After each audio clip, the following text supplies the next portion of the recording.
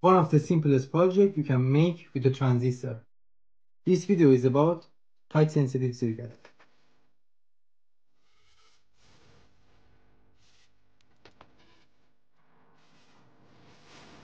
Let's build it together.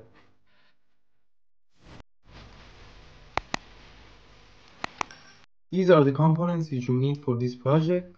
I'm going to use a breadboard, BC547 transistor, NPN, 330 ohm resistor to limit the current across the LED, one LED, some jumper wires, and I'm going to power the circuit with 5 volts.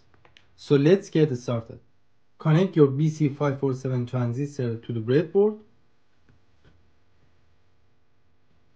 Emitter pin is on the right then we have base and collector. Let's connect the emitter of the transistor to ground.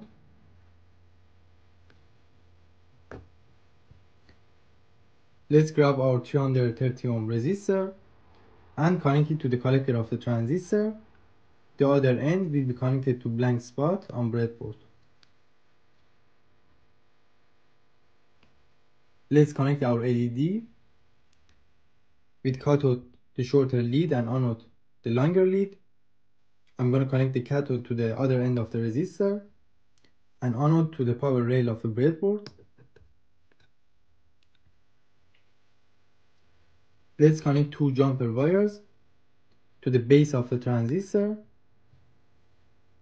and to the positive rail of the breadboard. We are done with the setup of the project and now let's connect the power supply to the breadboard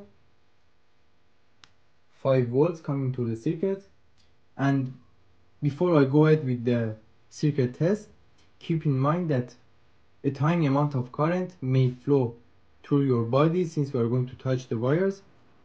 And um, we are going to apply some amount of current to flow through the base of the transistor. Therefore I'm going to keep the input voltage as 5 volts.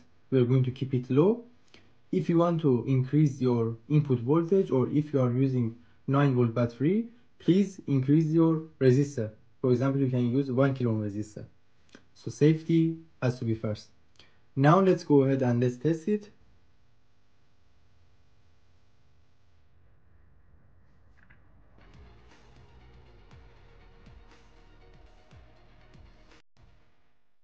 Whenever I touch the free ends of the jumper wire, I will introduce my body's capacitance to the circuit and tiny amount of current will flow through my body to the base of the transistor, which then makes the transistor on.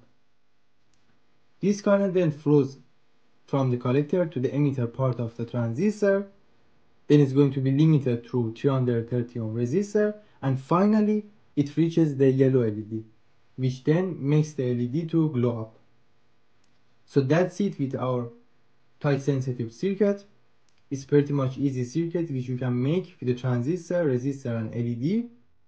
You can do it on your home and feel free to comment if you have any questions regarding this project. Thanks for watching this video. If you enjoyed it, please give me a like and do not forget to subscribe my YouTube channel.